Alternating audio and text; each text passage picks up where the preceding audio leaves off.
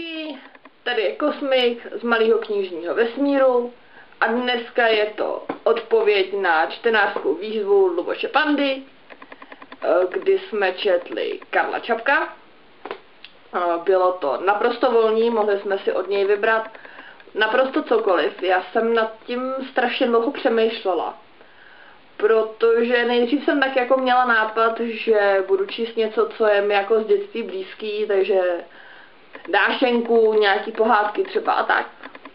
Ale pak jsem si řekla, že vlastně mnohem zajímavější bude ukázat vám v tomhle videu knížku, o který se třeba neučíte ve škole, o který se nemluví, o který se třeba nic moc neví.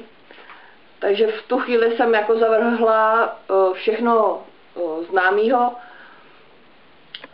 protože mi přijde, že právě tady ten projekt by měl představit třeba nejenom nový pohled na knížku nebo autora, ale třeba i nějakou novou knížku, kterou uh, neznáte nebo po který byste sami jen tak nešáhli. Uh, takže jsem přemýšlela, přemýšlela, chvíli jsem měla jako v plánu vzít od něj vyloženě něco naučního třeba a tak zas tady ty knížky jako jsou strašně tlustý a nemyslím si, že bych to úplně jako zvládla, zvládla přečíst nebo s, jakoby znova, protože už to mám samozřejmě načtený, ale o, pro tohle video bych si to chtěla oživit.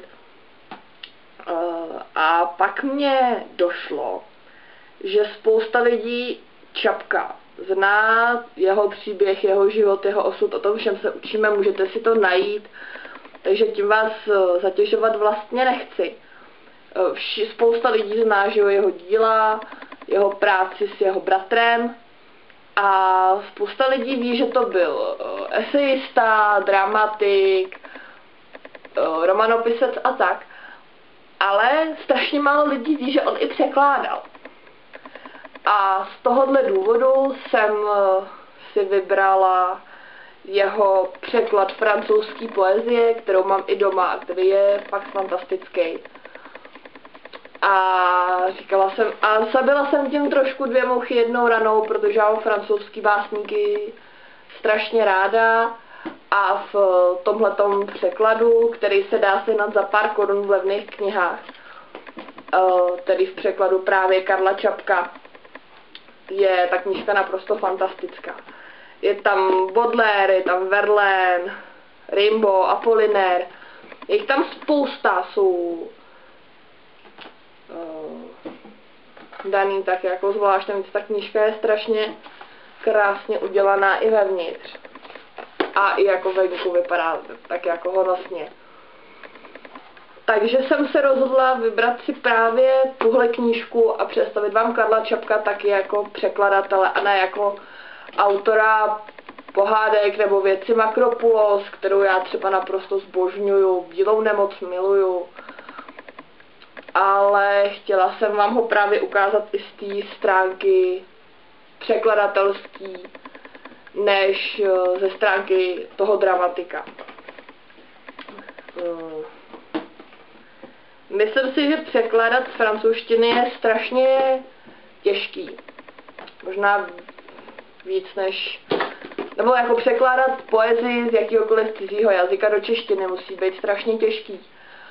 Aby zůstal smysl té básně zachován. Zároveň musí být zachovaný uh, rým třeba, pokud tam je stylistika toho, toho textu, podoba toho textu, i ty slova vlastně, jako takový jejich smysl, jejich význam právě v tom spojení s dalšíma jako použitýma frázema nebo slovníma spojeníma. A myslím si, že v tomhle případě to Karel Čapek zvlád naprosto na jedničku. Překlady jsou vážně úžasný. E, přijde mi škoda, že zrovna jeho překlady tady těch básníků nejsou v povinných četbách. Ty básníci a jejich básně a jejich díla tam samozřejmě jsou, ale vyžaduje se jiný překlad než ten Čapkův. Což si myslím, že je škoda, protože Karel Čapek si myslím, že je velká ikona českého literární tvorby.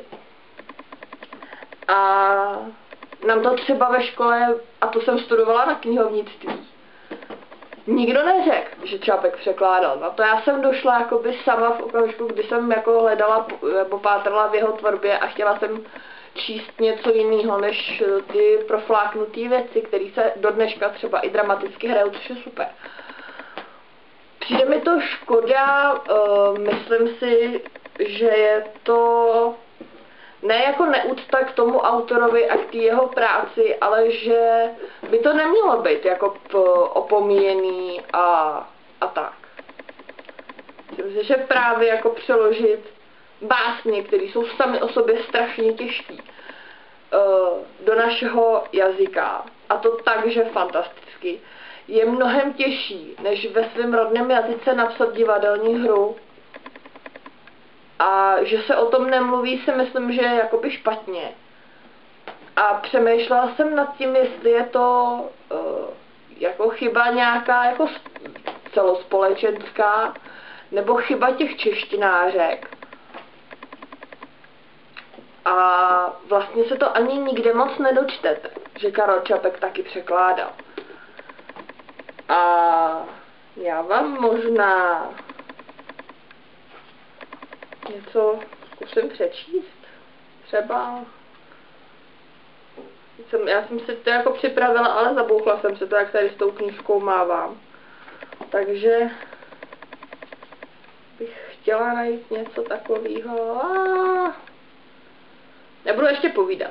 Co je super tady na tom, tak je, uh, se mi fakt líbí je věc, že jsou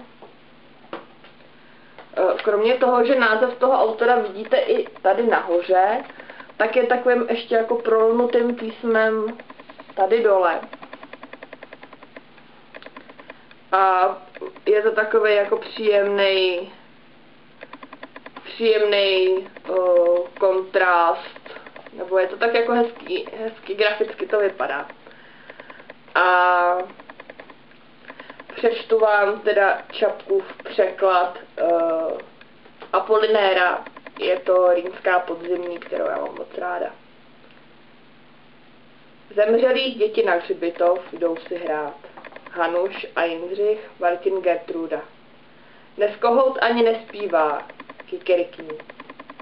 Stařiny plačící cestou se ubírají a oslové dobráci říkají i já a do chroustání se dají pohřebních věnců a kyticí. Dnes je den zemřelých a všech jejich dušiček, děti a stařeny, svítilny staví a svíčky na každý hrob, katolický, závoje babiček a neby mraky jsou jako kozí bratky. To je jenom část uh, z té básně.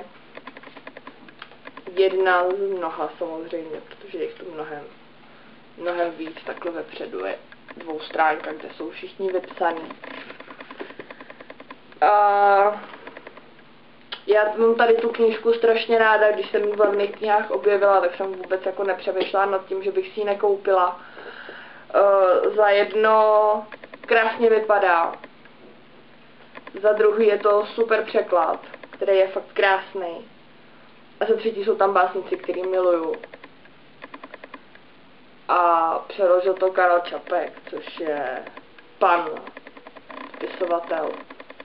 A touhle cestou bych vám tu knížku chtěla doporučit a ukázat vám, že Karel Čapek byl nejen výborný spisovatel, pohádkář a dramatik, ale taky fantastický překladatel